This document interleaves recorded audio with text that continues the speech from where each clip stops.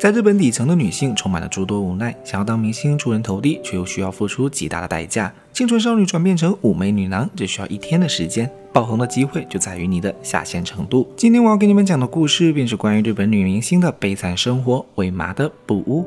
在日本有一个由为麻、雪子和林三人组成的偶像团体，虽然这个组合并不是特别的红火，但是其中的一位偶像为麻却人气颇高。最近公司决定要让魏麻单飞去做演员，因为现在当偶像歌手并不怎么赚钱。而这次正好有电视台邀请魏麻出演连续剧，所以魏麻的事务所的社长田所就十分的赞同魏麻转型为演员。但魏麻的经理刘美并不同意她转型。因为他知道魏麻是因为热爱唱歌才加入这个团体，可是最后公司心意已决，加上魏麻自己不想招惹麻烦，也选择同意。所以今天就是魏麻的最后一场演出，他的演唱带动了全场的兴奋气氛，观众们跟着节奏欢呼雀跃时，有一位负责会场安全的警备人员内田守则安静地蹲在舞台的下方，他透过自己的手掌看着台上的魏麻，在他的眼中，魏麻就像站在他的手掌上为他一个人演唱一般。然而这时，内田守发现有空罐头被扔到舞台上，本来一脸幸福的内田守瞬间阴沉地站起来去寻找扔。罐头的罪魁祸首，能罐头的是几个混混。那天兽想要去打那为首的混混，结果却反而被打得满脸是血。对这些混混不满的粉丝们和他们发生了口角后，就互扔起了空罐头，场面变得很混乱。然而这场闹剧在平息之后，魏麻当场宣布自己要单飞的消息，台下的观众都很吃惊，可最后也只能无奈的欢送魏麻离开。在那一天回到家后，魏麻就收到了一张传真，传过来的纸上写着密密麻麻的叛徒二字。魏麻有些惊恐。因为在自己离开演唱会现场的时候，就听到有人喊着“魏麻，我会一直关注魏麻的房间”，并且还收到一封信，上面就写着魏麻的房间的一个链接，感觉自己处在被监视之中。于是魏麻便用力的把窗户给关上了。第二天，魏麻在拍戏的现场准备着，虽然他就一句台词：“你是谁？”准备时，魏麻询问牛妹：“魏麻的房间是什么？”牛妹告诉她，这是一个互联网的主页。期间，电视剧的制作人涉谷来到现场查看。田所看见后，就十分殷勤的过去握手，并请求给魏麻多加点戏。涉谷顺便把送到台前的给魏麻的信交给了田所。田所拿到信后就顺手撕开，然而没想到的是，这封信竟然爆炸了。田所的手被炸的都是血。魏麻震惊的跑到田所身边，他看到被炸的信上写着：“这次是警告，下次就来真的了。”魏麻心里更加害怕了。不久后的某天，刘美帮魏麻家装了电脑，还教她如何登录魏麻的房间这个网页。魏麻对之前的恐吓信一直心存余悸。这天，他就跟刘美说自己有些担忧，结果刘美却只是云淡风轻地说没那么严重，只是个恶作剧罢了。在刘美离开后，魏麻登录了魏麻的房间这个网页。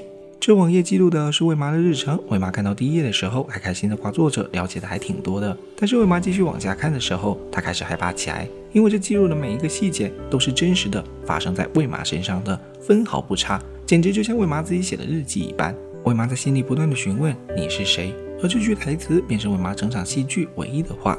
牛美认为这样的转型太失败了，可是田所却认为这个展开已经很不容易了。牛美一想到当初魏麻是为了成为歌手才来到东京的，就觉得有些可惜。牛美年轻的时候也是个偶像歌手，她那个时代偶像歌手还是很赚钱的，但是现在歌手连宣传自己的舞台都没有了，所以魏麻想要在业界活下去，现在这个时期很重要。但是魏麻现在整个人都开始精神紧张，感觉到自己时刻被监视。现在。他坐电车下车都不知道该先抬哪只脚，因为连这种细节都会被魏麻的房间记录下来。心慌的魏麻被人群推出电车后，就疯狂的跑向公司。现在只有雪子和林的偶像团体出了新歌，谁知道这首歌竟然冲到了排名特别靠前，他们为此庆祝。而一旁的魏麻已经变成了局外人了。魏麻在拍的电视剧突然被制片人加了一场强奸戏，优美知道后强烈反对，而一旁的魏麻却主动同意。他假装无所谓的说，又不是真的被强奸。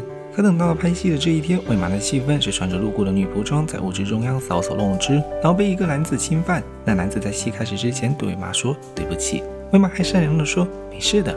可没想到，这真的是一场强奸戏。台下的刘美边看边哭，田所也于心不忍起来。魏麻刚开始还哭着反抗，到后面他的眼睛失神了，不再做无谓的反抗。这天魏麻拍完戏，坐上田所的车后，还故作轻松的说累死了。他表现的像是什么事情都没有发生过一样。回到家里的魏麻第一件事就是去给鱼缸里的鱼喂食，然而他发现鱼都死了。魏麻抑制不住情绪，大声痛哭。他抓狂的哭道：“我当然不想演了，这不是不好意思给大家添堵吗？”他的精神失控到发现曾经追逐音乐的自己竟然嘲笑：“这就是你想要的工作吗？”令人作呕。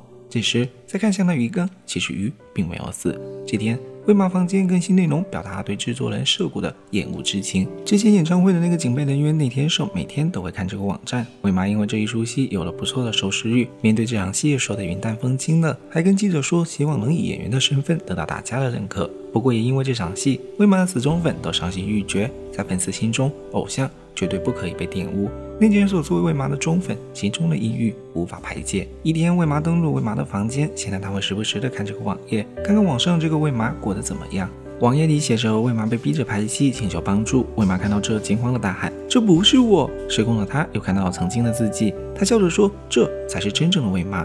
你明明想作为偶像，不过你已经被玷污了，是不可能再成为大家喜欢的偶像。从今天起，你就只是我的影子。”结果从这一天起，离奇的事情开始不断的发生。凌晨一点多，涉谷在地下车库停完车，在电梯里被利器捅了数十处伤口后惨死的。涉谷的死让魏妈心有余悸。紧接着，魏妈的房间竟然说出了自己会出席一场演唱。于是，等到约定的演唱会场时，很多魏妈的粉丝都将信将疑的来了。内田寿也去了，他拿着相机一直在等待。终于，在他的眼里，魏麻真的出现在了舞台上。但其实，那只是他太过期望而导致了幻觉而已。而这个时候，真正的魏妈正在被摄影师村野拍着诱人的写真照。自从那天精神失控后，魏妈的着装竟然开始越来越暴露。当这一天结束后，魏妈的房间上写着感谢大家去看她演出的留言，魏妈逐渐要崩溃了。而在第二天，魏妈拍的写真照被放到一本本的杂志里，被大家随意翻阅。看到这杂志的那年手，一脸的不可置信。那年手还收到魏妈的房间发来的信，谢谢你每天都给我写信。杂志的那个不是我，我。还是会永远的跟你在一起，可是那个冒牌货总是在阻碍我。于是被诱导的那田手回复道：“我来解决他。”魏妈开始被这不识出现在镜子里的另一个自己搞疯了，她都怀疑自己的存在，连做梦都是梦到他的嘲笑。魏妈精神失常后，在拍戏时总是能够看见那田手，她一看见就会吓一跳，导致戏总是拍不好。为麻还总是从梦中惊醒，而且感觉每天都是重复的。明明昨天刘美是隔很久后第一次来看他，魏玛却以为刘美是今天才来看他。魏玛的手被玻璃划有血，为麻就病态的问：“这血是不是真的呢？”为麻越来越觉得为麻的房间里的为麻才是真正的自己。他每天看着为麻的房间里写的“今天去的元素购物了”，便痴傻的说：“原来我今天去元素购物了。”很快，给为麻拍摄写真的摄影师村野就被人给杀死了。在那一夜，魏麻梦见自己不断被村野拍写真照的情景，还有自己不断捅人的画面。魏麻惊醒后就知道了村野的死讯。这时，魏麻去衣柜里拿衣服时，却发现了有一套沾满血的外卖服。害怕的魏麻赶紧把它藏回衣柜，因为跟魏麻有关的事故村野接连惨死，魏麻被说成了被诅咒的女星。魏玛一直熬到这部连续剧杀青的那一天，精神也已经快到了承受极限。不过，他的戏也终于得到导演的认可。杀青的这一天，魏玛一个人要去更衣室换衣服，结果却被内田守给抓到了当初拍强奸戏的那个舞台。内田守拿着刀要侵犯他，嘴里说着他在妨碍着真正的魏玛。魏玛拼命的挣脱抵抗，最终在要被侵犯时打晕了内田守。魏玛衣裳破烂的靠在了墙边。这时刘美来找他，跟他一起回到舞台去看时，却惊讶的发现那里根本没有内田守，而其实内田守和田所都已经被杀了。精神不振的魏麻迷迷糊糊的被带回了刘美的家。魏麻发现那个房间布置的跟她还是歌手时的房间几乎一样，这时肥胖的刘美穿着演出服出来，她自称是魏麻。她说的话跟魏麻的房间里的话一模一样。刘美完全把自己当成了歌手时的魏麻，然后她拿着利器要杀魏麻。魏麻被捅了一刀后，然后逃出了房间，一直逃。最后被刘美用伞抵住了脖子。刘美憎恶地说：“魏妈只是个肮脏的冒牌货，世上不能有两个魏妈。”魏妈拼命的抵抗，在她把刘美的假发扯掉后，刘美仿佛回到现实一般的惊恐起来。接着她被魏妈推到玻璃碎片上，被玻璃一次重伤的刘美跌跌撞撞地走到马路上，在要被车撞的那一刻，魏妈冲过去救了她。之后，刘美因为精神分裂住进了精神病院，而魏妈的演员事业则蒸蒸日上。他会时不时的来看望一下刘妹，在一次准备离开时，对着小车的后视镜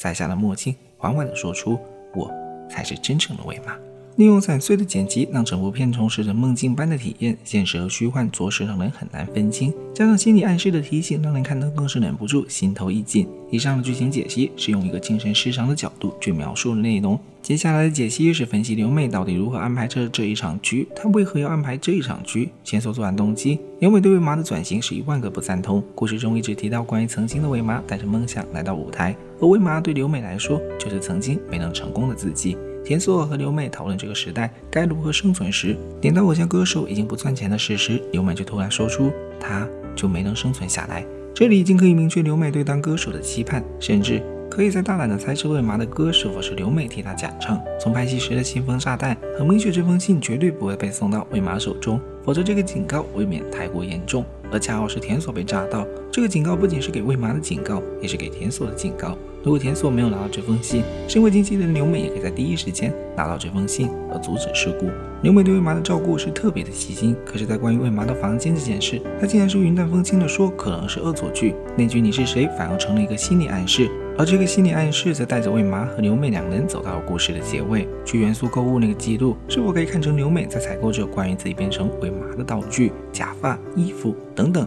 那个时间的魏麻也已经处于在精神失常之中。全片最为悲惨的角色是内田寿。每一次故事一到相对悬疑的时刻，就一定会出现他的镜头。我的剧情解析没有太多提起，就是不愿意让观众有这样的感觉，因为全程不过就是一个棋子。对于未麻的转型，他其实最无所谓了。喜欢的人去做什么都应该无条件去支持，但是她绝对不能容忍自己偶像被人玷污。而刘美的情况则是不允许自己的梦想被人玷污，未麻则就是她的梦想之初。三个精神都有问题的人交织在一起，到底是谁杀了田所、村野、涉谷？其实都没有一个准确的答案。不同程度的幻想症导致三人的幻想重叠在一起，而一切的开端则不过就是从转型再到被玷污后才引发的事件。新闻说这是一部开放的动画电影，你任何的猜测只要逻辑理得通都可以成立。而我之前看过一个网友的另一个猜测，除了被侵犯的事情是真的以外，刘美和魏麻都是不存在的一个人，是被侵犯的魏麻所想出来的人格。在变成连环杀人犯后，需要逃避现实所建立的人格。如果故事中没有最后魏麻前面一笑的镜头，其实很多人真的就相信了最后的魏麻是真的魏麻。那到底是真的还是假的？你说呢？我是少年，一位迷人又可爱的九七年男孩。如果喜欢我的解说，请点个关注，能不能给我视频点赞评论支持一下？这对我真的很重要，拜托拜托。